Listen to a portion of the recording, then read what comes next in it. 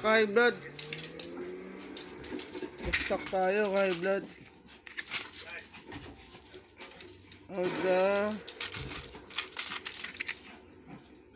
Um, life, dasartan with amdodipine. Yung mga maintenance ko.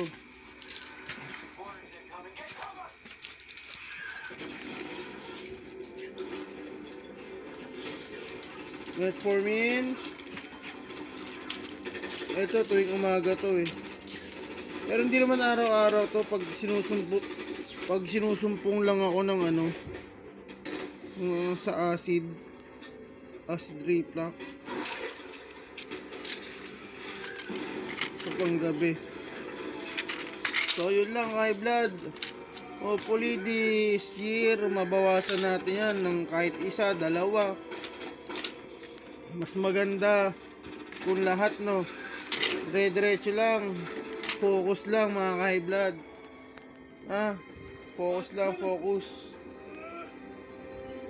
Huwag nyo kakalimutan inumin ng maintenance nyo ha, high blood ha.